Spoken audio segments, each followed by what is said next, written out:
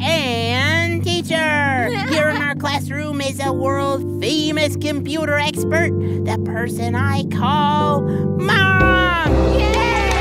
Thank you. Thank you so much. I'm so excited to be here with all you scientists.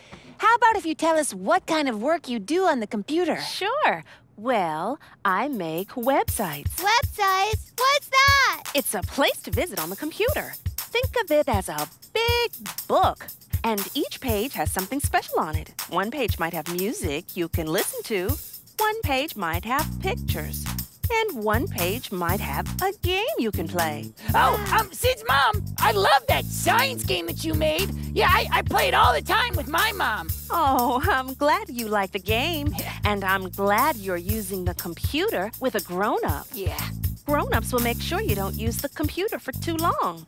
It's important to get outside and play, too. Well, now that you know the rules of the computer, maybe we can all learn how to use the computer just like scientists do. Scientists use computers too? They sure do. Computers can be a great science tool.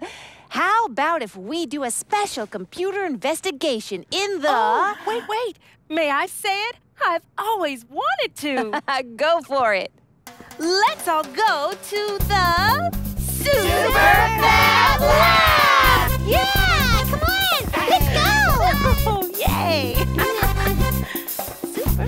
Super Fab Lab.